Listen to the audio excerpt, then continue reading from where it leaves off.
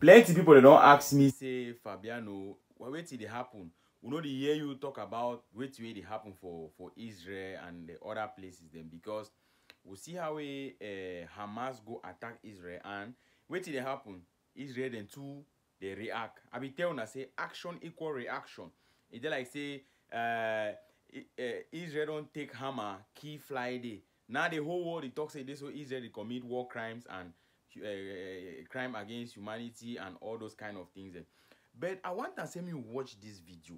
Watch this video. This particular one so i wan play until the end. You go see something. I don watch am watch am suit i don watch am more than four times.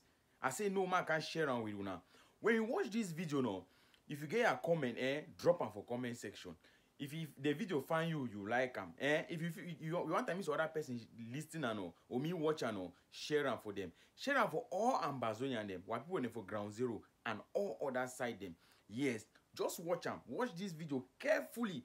Thing wey pastor chris talk. You know i no be fan for pastor dem and all those kind of uh, people dem you know me i believe me i believe yes i believe in god. Of course there is god. But i no over the so dwell on all those things dem as i know dey talk on my platform. But it doesn't mean i don't believe in god. But what this man said what this man of god said pastor chris no i think say e be very important. Ma share am with una watch this video. Watch am. No forget if you if, you want am you share make some other person. E watch am. Yes. No forget ambazonia for ground zero and all over. Watch am. Question Where was Israel? Where were they looking when they were suddenly, when there were such massive incursions into their country by Hamas? What were they thinking? I thought Israel had some of the best intelligence in the world. I think many are surprised. Like, how, how could Israel have been taken by surprise? The question is not whether, uh, uh, it's not how could Israel be taken by surprise. Maybe it's a legitimate question, of course, but um, it should be more about who was taken by surprise and who was not taken by surprise. Who were those who knew that this was coming? How timely it was to somehow follow the six billion dollars return to Iran that had been held back for years. So, and then Iran is behind the founding of Hamas, Hezbollah, and maybe a few others, like the Islamic Jihad. So, question who was taken by surprise and who was not taken by surprise? Because some were not taken by surprise. It's about who are these who are more loyal to their courts than they are to their country. And where is this game? It's all about the one world government. Um, I think it was in 2021 or so, I was explaining on this program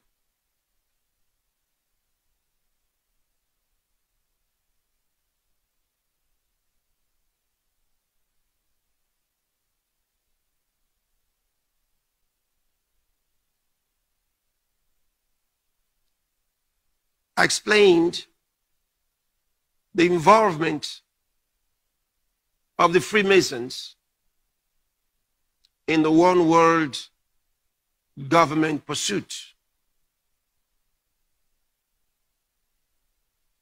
Now, when I talk about the Freemasons, I'm not talking about the junior Freemasons that, you know, some of you who are not serious Christians might have been a part of, and then you think you're into something. You haven't even started. So Just be calm and listen to me and don't start getting un- uncomfortable. He's talking about Freemason. I love Freemason. Relax yourself.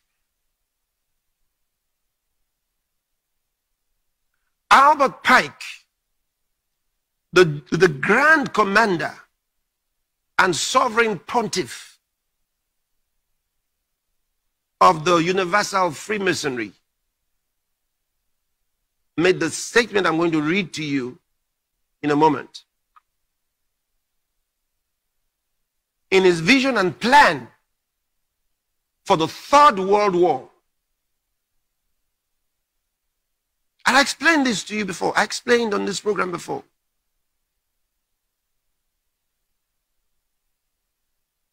This was the, the, the, the sovereign pontiff, the grand commander of Freemason, the Universal Freemasons.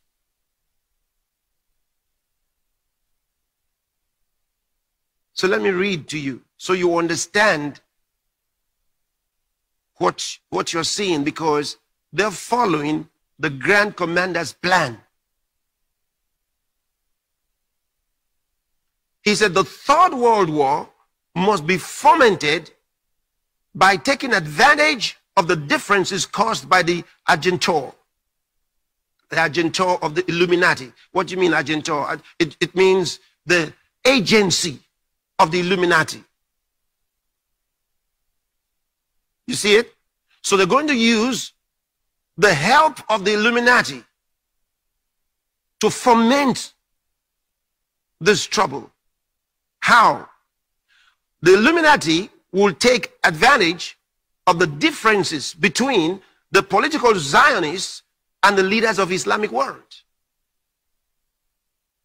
Now, the term political Zionist is another broad term because political Zionist doesn't just mean the Jews.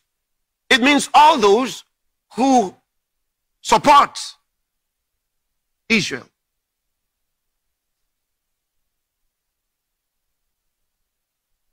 And that, that drags Christians right into it. They are referred to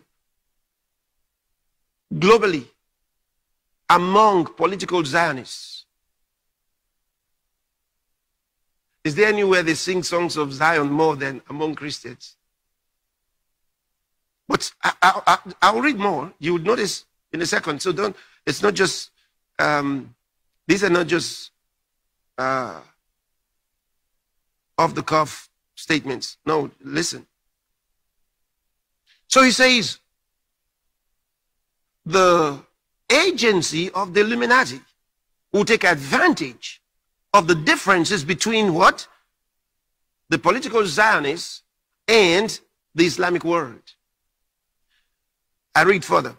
The war must be conducted in such a way that Islam and political Zionism mutually destroy each other. So, who is instigating the war? Look at it. The Illuminati will instigate the war by taking advantage of the differences between political Zionism and the Islamic world leaders. So, at, this is a war on different fronts. And I told you about the words, the term used by George Bush Sr. when he called it the thousand points of lights.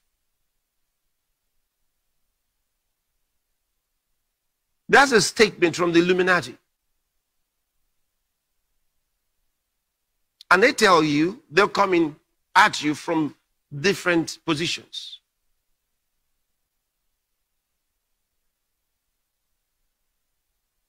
Like how Saddam Hussein was lured into Kuwait. And I read you those details as well. So it wasn't Saddam Hussein who just woke up one day and wanted to move into Kuwait. No. An official was sent to Saddam Hussein to advise him that it would be a good idea to move into Kuwait and that America will not do anything about it. He shouldn't be worried. Then he moved into Kuwait, and the next thing he knew, Gulf War.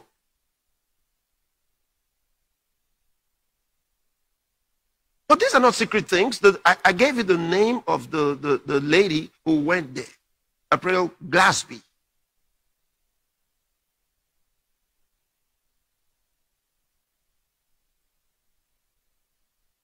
So he was lured into Kuwait.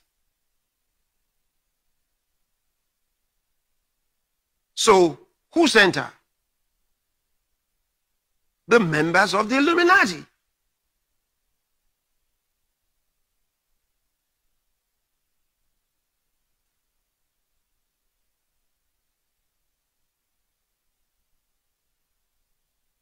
So hear what Pike says, Albert Pike. He says, meanwhile, other nations once more divided on this issue. Okay, on what issue? The, the, the problem between, between the uh, political Zionists and Islam. Now, think about it. When the Ukrainian war with Russia at, at, at least dominated the news, and Israel was kind of making some headway with friendships with some of the Arab nations, everybody wondered what where was the enmity between uh, Israel and the Palestinians. It seemed like it had gone to the, you know, it was nobody was thinking about it. It was like off the off the table. It wasn't off the table for the Illuminati.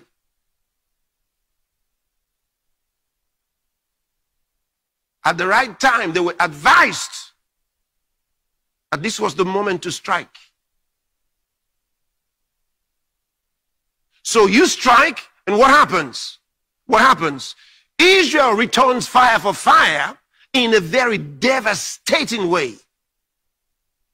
Now, Israel will be accused of killing a fly with a sledgehammer.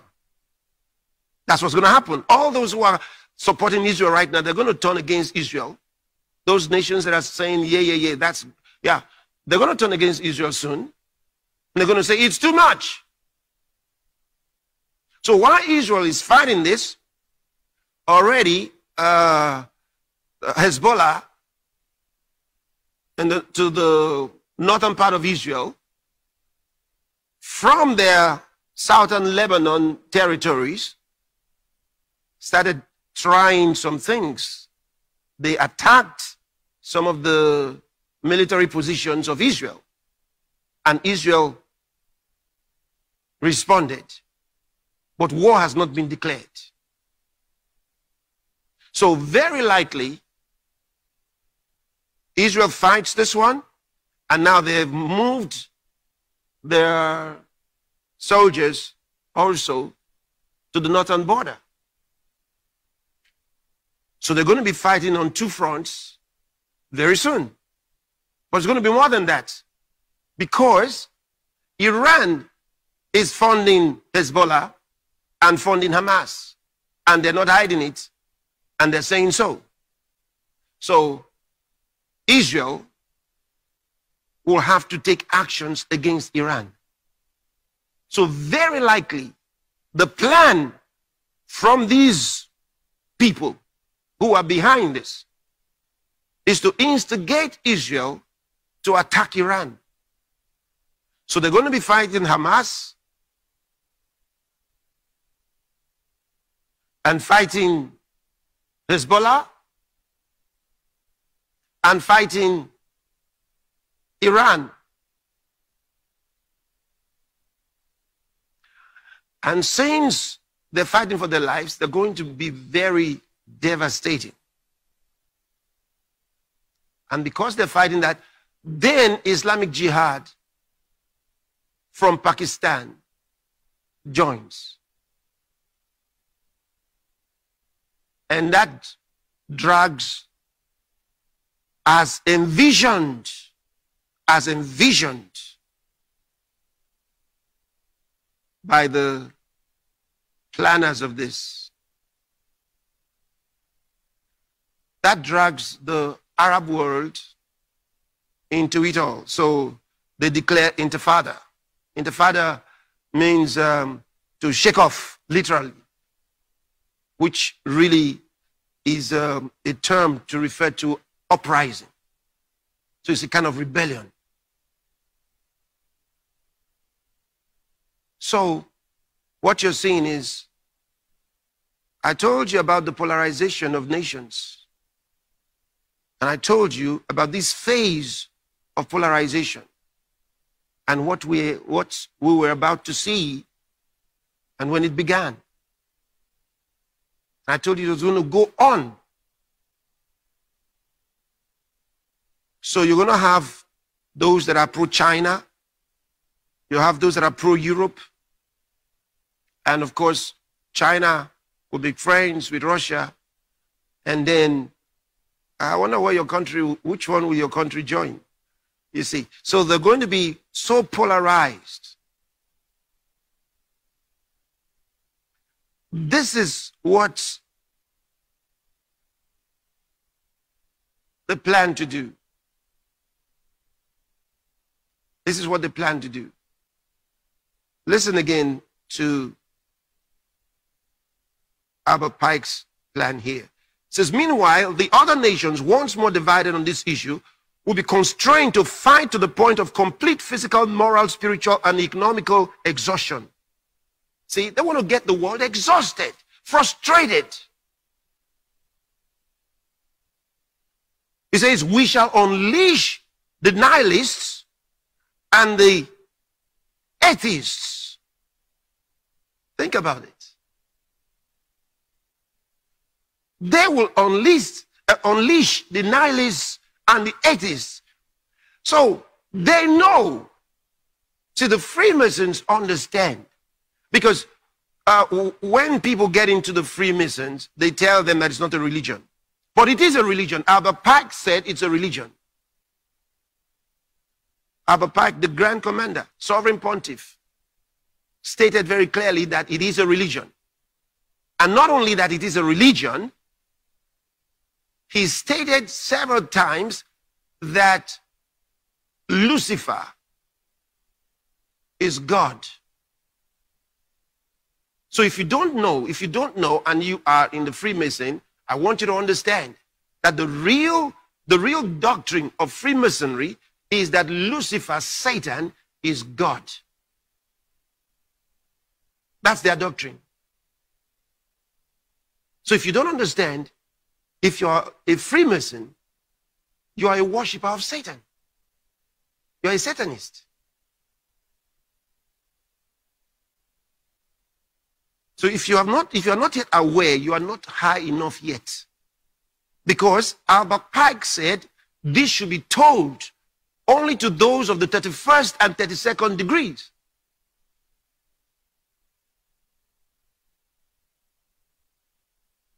So if you're not yet that high, you're not going to know.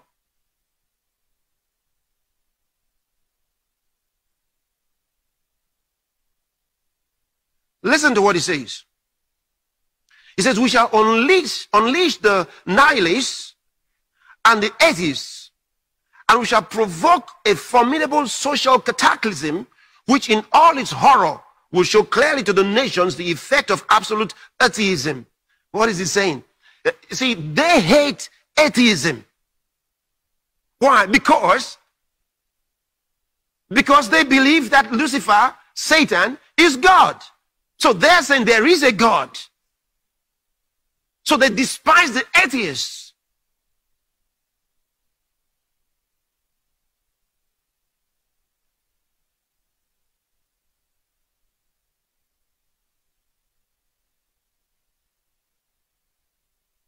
So they're going to use them. So in the beginning, the atheists would think that they're on the same page. The nihilists would think they're on the same page.